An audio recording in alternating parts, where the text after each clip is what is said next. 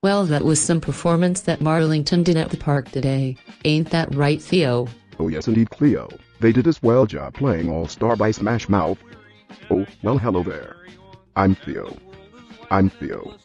I'm Cleo, and we are from a show called Between the Lions. And this is day three of Mason's big birthday bash countdown. Well, the most absolutely glorious God Mason will be turning 23 in 25 days. We just got back from Cedar Point and it was a fun day enjoying the park on a nice sunny day. And we also want to give a birthday shout out to Emily Elkins. Check out her channel with the link down below.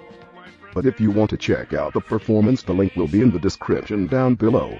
And of course, we will bring our two cubs Lionel and Leona with us for the party, just like they enjoyed Chuck E. Cheese at Kirsten's birthday back in February.